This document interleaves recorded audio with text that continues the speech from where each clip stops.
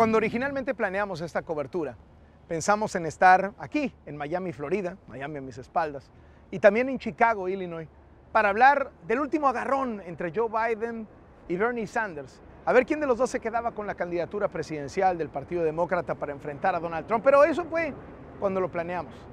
Antes de que brotara brutalmente el coronavirus en los Estados Unidos, y está claro, lo dicen todos los expertos, se va a poner peor.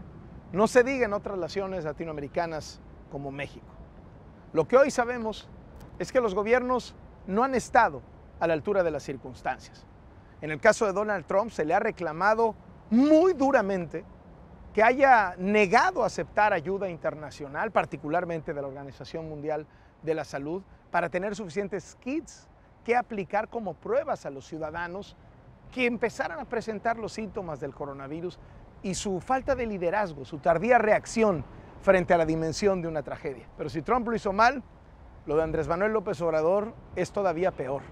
Porque si lo medimos en proporción, a Donald Trump le están pegando una paliza política porque más o menos hizo tres pruebas de coronavirus por cada 100 mil habitantes.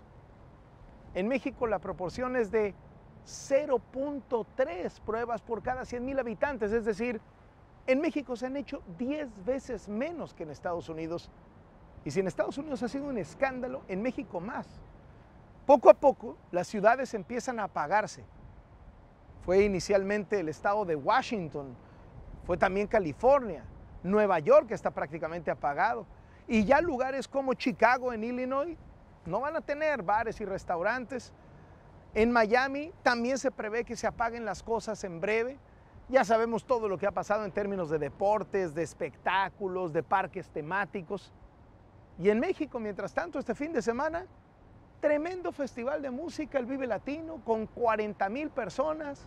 El presidente de México en contra de lo que recomiendan todos los científicos, dando saludos, besos a un niños, abrazos a la gente en los mítines. Parece que hay dos líderes que no se están tomando en serio el tamaño de la amenaza. Y lo que dicen todos los científicos es que la amenaza es real. Es una amenaza contra la que no tenemos defensa.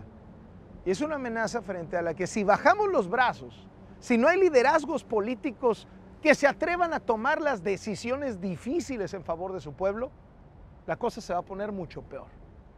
Aquí el tema no es si nos llega o no nos llega el coronavirus. No, no, no, el coronavirus va a llegar y va a llegar intensamente.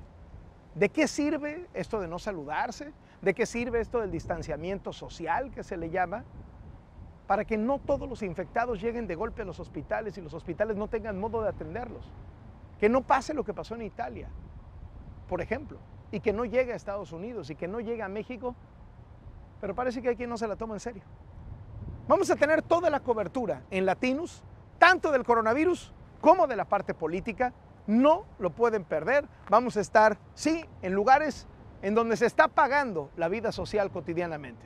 Miami y Chicago.